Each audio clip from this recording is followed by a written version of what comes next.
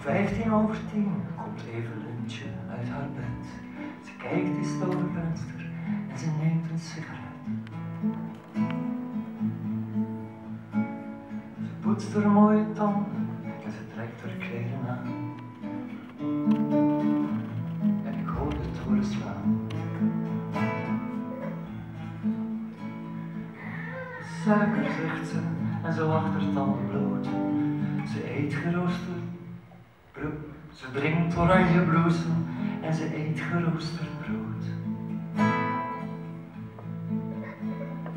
Suiker, zegt ze, en ze lacht haar tanden bloot. Ze drinkt oranje bloesem en ze eet geroosterd brood.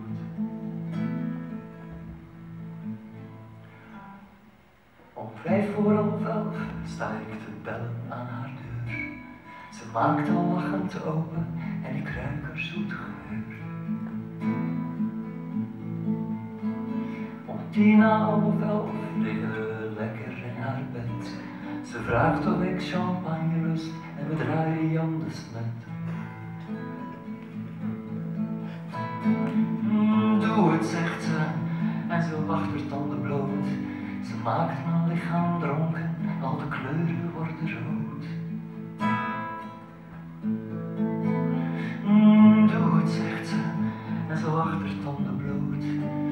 Maakt mijn lichaam dronken, al de kleuren worden rood.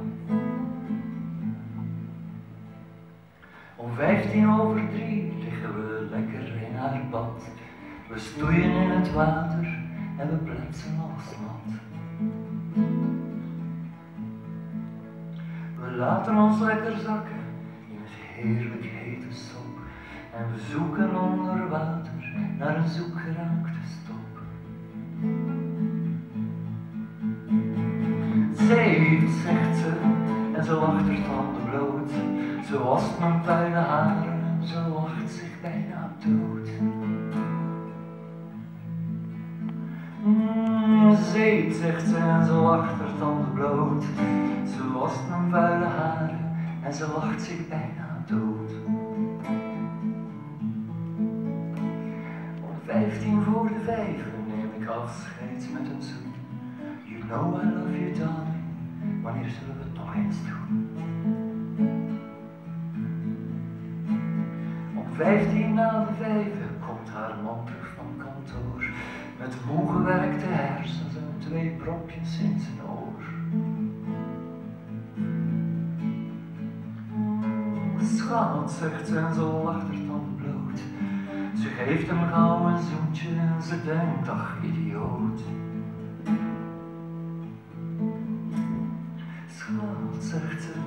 En ze lacht er tanden bloot. Ze geeft hem gauw een zoentje en ze denkt, ach idioot.